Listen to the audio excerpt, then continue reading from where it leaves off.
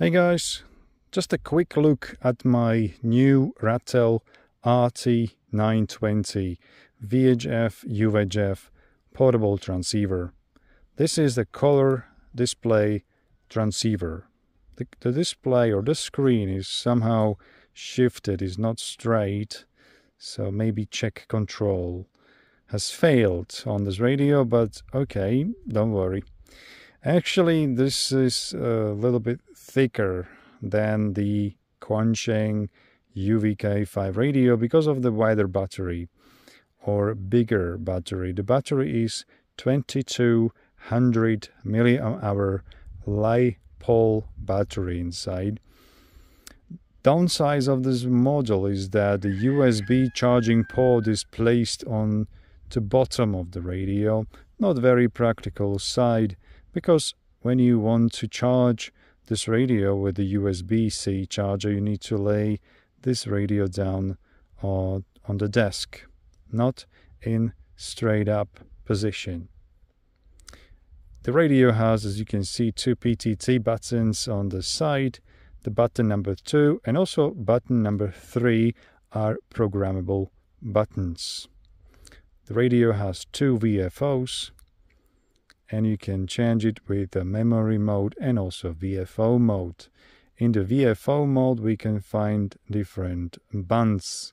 This is the CB band, also 54 megahertz 6 meter band, FM radio band, 2 meter band, and 20 or 220 megahertz band, 350 megahertz band, and 70 centimeter band the manufacturer declares that there is a very good sensitivity on the CB band.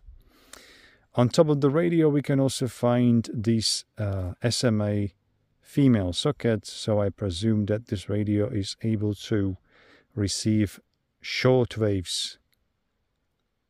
Also, this dual band VHF UHF antenna, it's different than the other Radtels radios or even Quansheng radio. Here we can see also the volume knob. And that's it. Actually, this radio looks pretty good from the front, but I don't know, it's too big into my hand, I, I was I suppose. The radio is 10 watt radio, and that's the reason why manufacturer used this bigger battery on the back. Of course, that makes sense.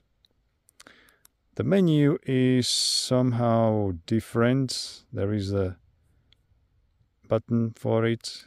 If you go to menu and using the arrow buttons, you can set different features. And you can see also the dot right next to the feature uh, you need to enter into the menu or the setting and with the arrow button you just select the feature you want. Anyways, uh, the radio has printed the features also on the keyboard. So short press on the keyboard, you just enter the frequency. You see, And if you hold the key, I don't know, maybe dual watch, hold the key, the dual watch, as you can see, will be called out from the menu. So this is a shortcut actually. That's a good feature. And you can also see them on the keyboard. They are not hidden. So that's the quick look. Yeah, the positive thing on the radio is also this flipping cover, which is pretty good when you can flip this cover to the side, not to the to the lower side of this window. And the very good thing is that the classic Kenwood uh, dual connector is used in this radio. There is no Motorola.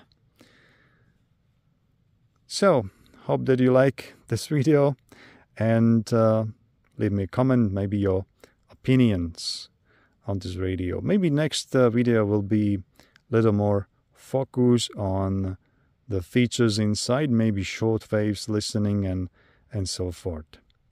7.3 and thanks for watching.